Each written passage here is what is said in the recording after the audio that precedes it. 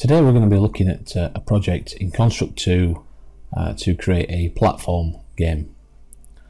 So we're going to start off by clicking New Project.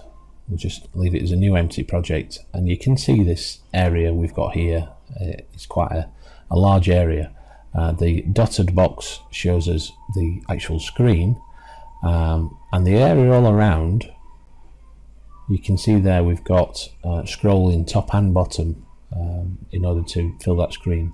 We don't really want that. What we're going to do is we want it so that it just is a side scroller and we need to get rid of this area below. Now in order to do that, what I'm going to do is I'm going to change the, the settings on the side.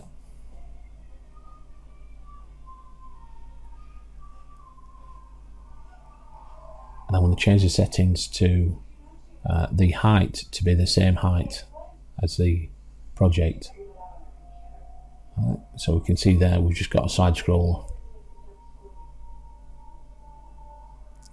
So I'm going to add, to start off with, I'm going to add a sprite. This is going to be the player. Let's just set a colour for it.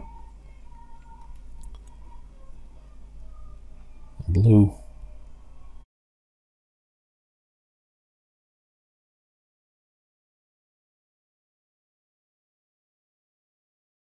Change the size of the character just place him somewhere on screen add a behavior and the behaviors uh, before we use the eight direction uh, for the ghost shooter we can actually use the platform makes sense jump and run between platforms solid objects.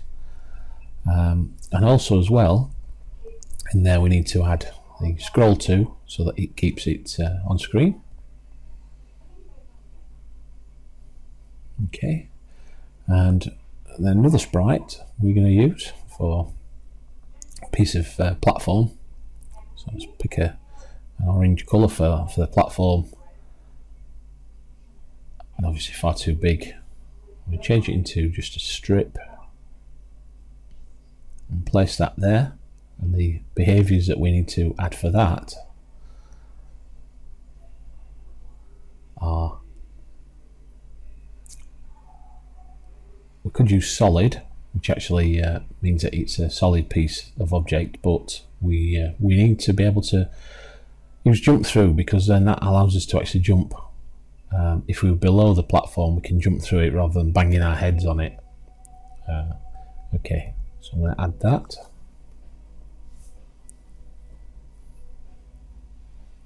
What I can then do is I can uh, just put that in place and then using the control key I can just click and drag and that will allow me to put more than one piece of uh, platform on there. And I can change the size of each individual piece. You can see there we've got uh, a piece. But the trouble is that is that the the character just falls straight through.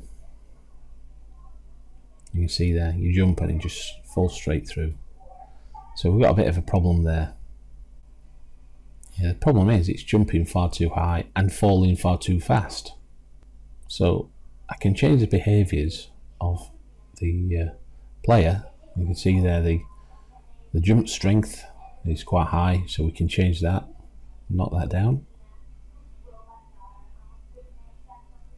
Let's just change it to 100 just to see what it does. And you see now, it's not jumping very high at all now, is it? But when it falls it's still falling through. So we'll set that somewhere in between. Set it to 400 the maximum speed it, it can go too fast as well. And the problem can be that uh, it's falling faster than it can look for pixels to stop on. So we'll change that to 100 just give that a test reload it. And just give it a go. So it jumps. No still falling through. So what other what other settings that can we uh, can we change on there? You can see there there's also a maximum fall speed of a thousand which is really really fast. That's uh, terminal velocity. So we change that down to uh, 300 and let's just uh, test that and see if we've solved it. Okay, let's try it. it seems to be uh, working fine. It's not jumping too high. Uh, and it falls and stops on each platform piece. We'll just check that this um, actually scrolls along now. So by putting extra pieces in towards the end, and just check that uh, the player, the back screen actually scrolls along with the player. test it.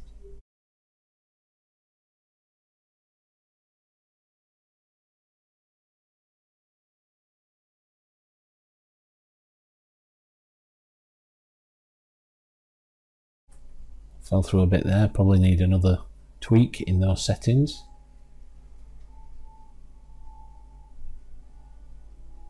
Can see it jump it jumps through. I bet it's working and the, the scroll's working as well. Although I need a, a bit of a tweak on those settings.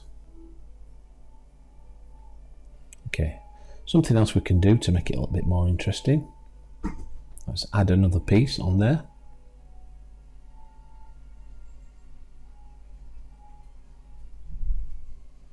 not a huge block of ice but um, inside a piece of platform I've made this a different colour because uh, it's going to be uh, a different type of uh, piece of platform. So just add a behaviour. And this time what we're going to do is we're going to add a sine. So adjust an object's position size angle or any other properties uh, by oscillation. Let's just show you what this actually does. Can you see? It's uh, moving backwards and forwards. So that's moving horizontal.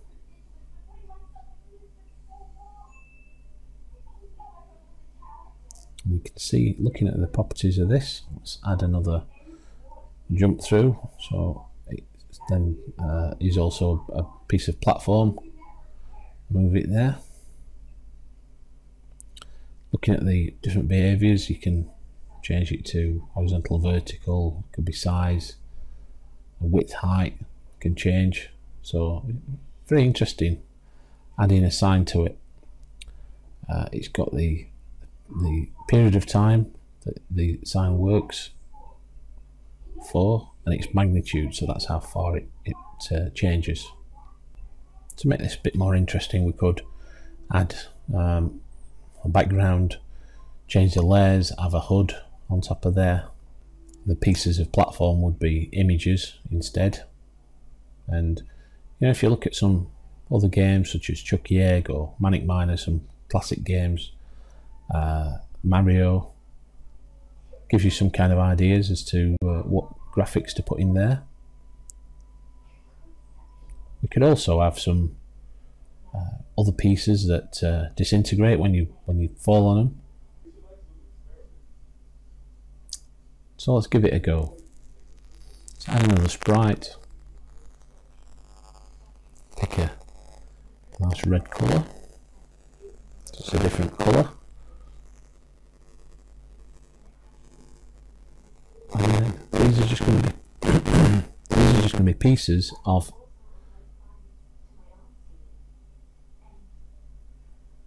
these are just going to be pieces of platform. And just delete the other piece and put them in the in the place. And what we're going to do is going to add uh, behavior. It's still going to be a jump through so it's still a, like a standard piece of platform.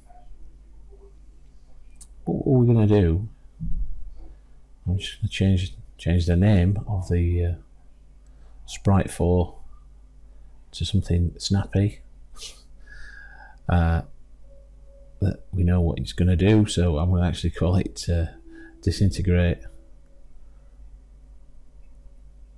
Okay now I'm going to change the, uh, the name of the, the sprite to player. And then what I'm going to do is going to an event say uh, disintegrate. When it um, collides with another object which is going to be the player. And what's he going to do? Well uh, disintegrate is going to uh, disintegrate uh, it's going to destroy. So.